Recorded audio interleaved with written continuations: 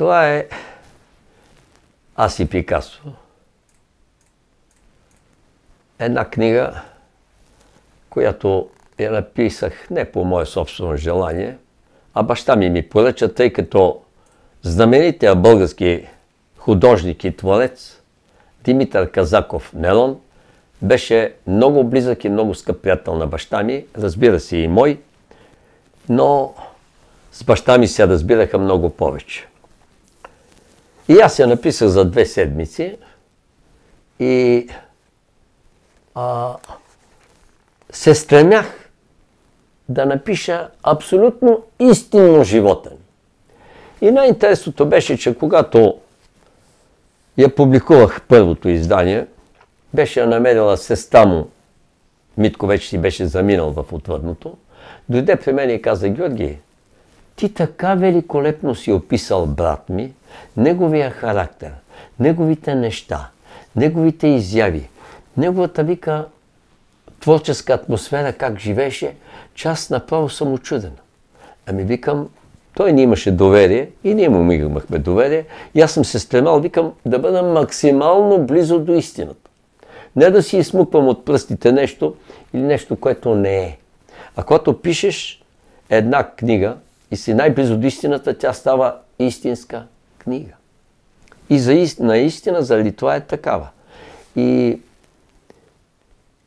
още виждам, че а, човек като него непрекъснато се раздаваше по този начин да те учи, да те обучава, но когато искаш да го слушаш. Макар че аз не винаги исках да го слушам, ама той продължаваше, понеже непрекъснато бяхме заедно, продължаваше да ме обучава.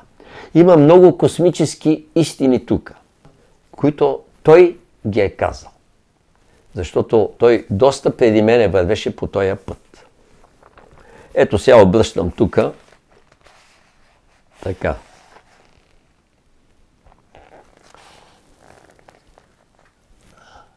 И попадам на страница 84. Ето какво прочитам само.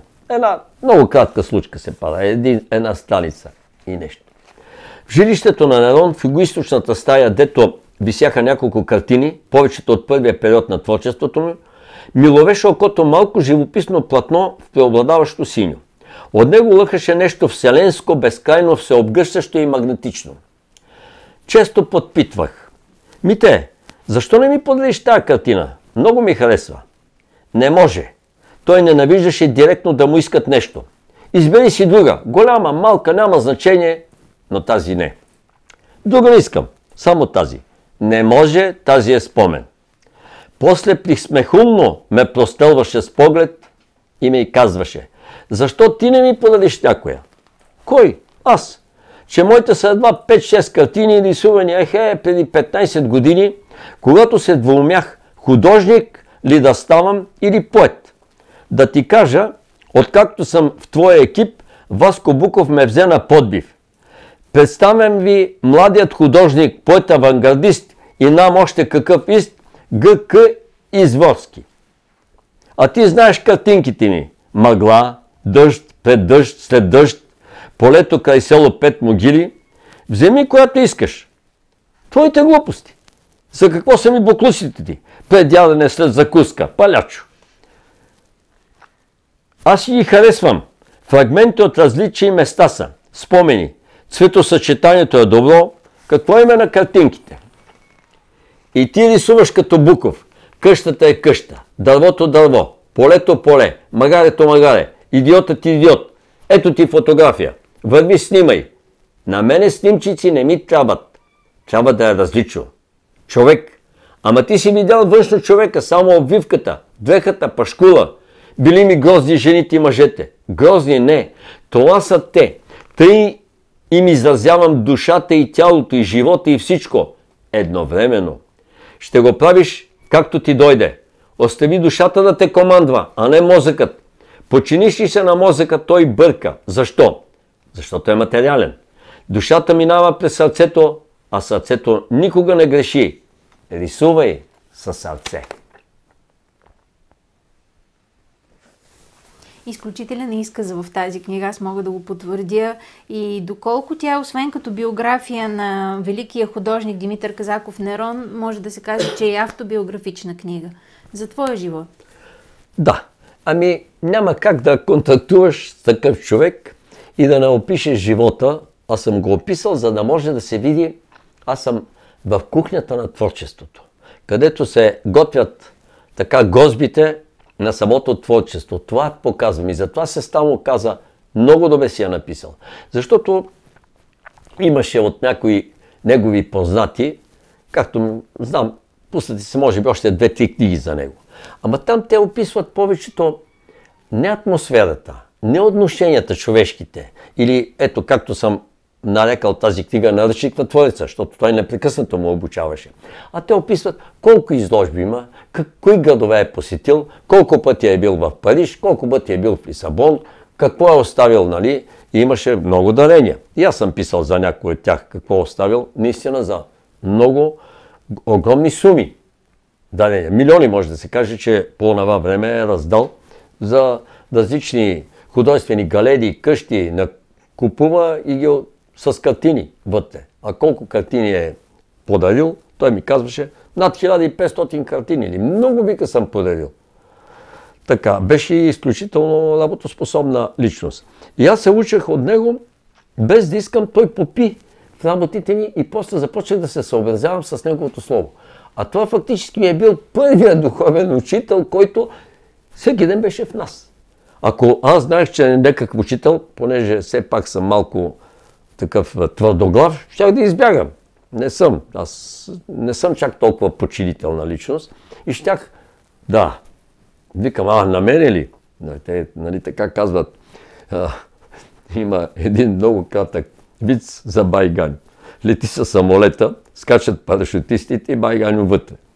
И сега свършват вече полетите и един казва, Байган, ти що не скочи с парашют, бе?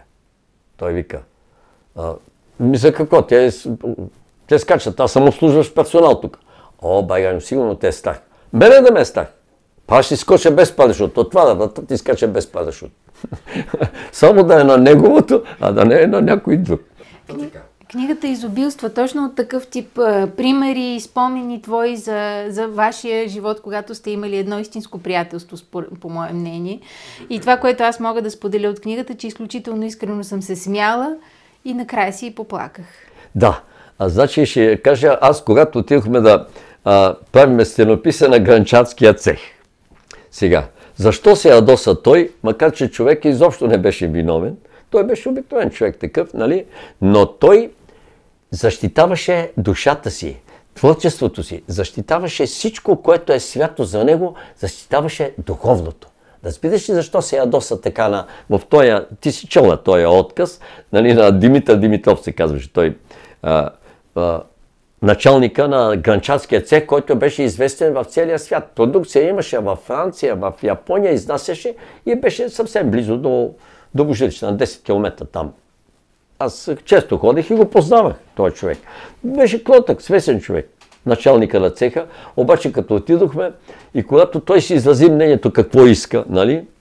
И, а Казаков щеше да направи старотракийски мотиви, евридика, орфей, амфори, работи и така нататък, птици, животни, прекрасен, наистина аз смятах. А той какво човека ви искаше, вика, искам, вика, да, а, ами няма ли тук така да се един, а, да е по-нашенско, вика, едно гранчарско колело и нали, един а, гранчар, който е на колелото, да, да бъде човек, и една стомна, защото амфората не е много българско. Нали. И тогава вече кипна.